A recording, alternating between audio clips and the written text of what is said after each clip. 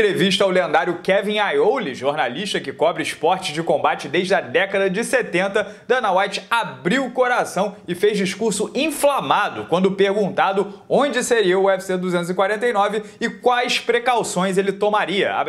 Todos terão o melhor tratamento médico possível, mas quanto menos a imprensa souber, melhor. Muito da histeria coletiva e do pânico vem sendo conduzido pela imprensa. Tem uma grande casa para ficar trancado. Minha casa foi feita para Posso ficar por meses lá me divertindo com meus filhos e família, fazendo coisas que não faço há anos. Mas não vou me esconder por meses. Tenho 350 funcionários e mais de 500 atletas contando comigo. Desde quando americanos correm e se escondem ao invés de encontrar soluções? Vou encontrar soluções para viver a minha vida e também proteger quem precisa ser protegido. Não acho que estou no grupo de risco, mas se eu estiver errado e o corona me pegar, ei, as coisas são como elas são. Doenças do coração, acidente de carro, câncer, a lista é longa de coisas que matam muita gente todos os anos. Uma coisa é certa, todos vamos morrer e eu não vou me esconder. O evento do dia 18 de abril, encabeçado por Habib Nurmagomedov versus Tony Ferguson, portanto, está mantido. Já inclusive tem bolão na internet pagando bem para quem acertar o destino final. Flórida, Dubai, Rússia, México, águas internacionais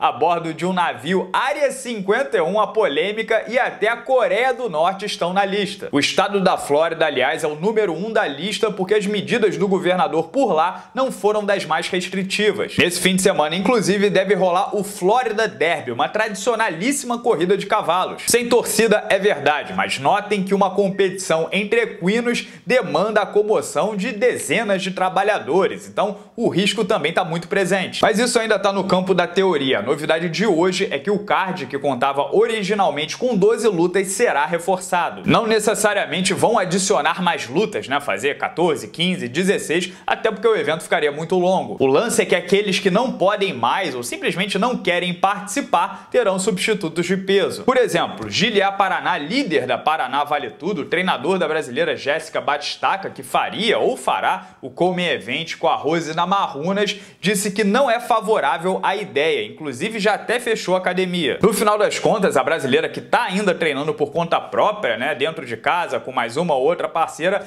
deve ser mantida, mas muitas outras pessoas terão restrições de viagens, outros pararam de treinar, então há espaço para mudanças. Como precisou cancelar três Fight Nights, Dana White tem como prioridade rearranjar as melhores lutas desses eventos para o UFC 249 e tá na mira em primeiro lugar Francis Ngannou versus Jairzinho Rosenstruck, o duelo entre duas carretas. Abre aspas para o sempre hiperbólico Dana White na ESPN. Estamos tentando construir o melhor card que já fizemos na história do esporte. E sim, Francis é um desses que estamos analisando. O peso pesado acabou de ser testado para o Covid-19, está limpo e confirmou a informação de que deve ser chamado ao podcast Submission Radio. E se esse for um padrão, o UFC 249 pode acabar com lutas muito interessantes como por exemplo, Tyron Woodley versus Leon Edwards, ou até Woodley versus Covington e Wonderboy versus Edwards, Derek Bronson versus Edmund Shabazian, Cody Staman versus Raoni Barcelos,